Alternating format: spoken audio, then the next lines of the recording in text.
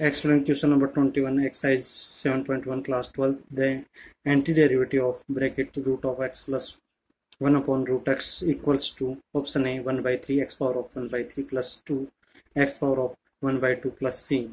Option D 2 by 3 x power of 2 by 3 plus 1 by 2 x power of x square plus c. Option C 2 by 3 x power of 3 by 2 plus 2 x power of 1 by 2 plus c. Option D 3 by 2 x power of 3 by 2 plus 1 by 2 x power of 1 by 2 plus c. So solution start or find the antiderivative of function. We'll look the function whose derivative is root of x plus 1 upon root x.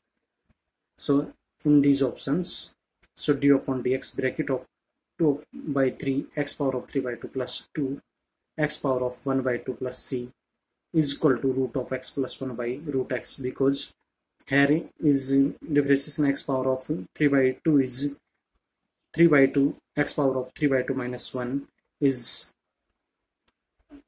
so here is 2 by 3 is cancelled to 3 by 2 and x power 3 by 2 minus 1 is root x. And x power of 1 by 2 differentiation is 1 by 2 so 1 2 2 to cancel and x power of 1 by 2 minus 1 is uh, x power of minus 1 by 2 so is 1 upon root 2 therefore the antiderivative of root of x plus 1 upon root x is 2 by 3 x power of 3 by 2 plus 2 x power of 1 by 2 plus c.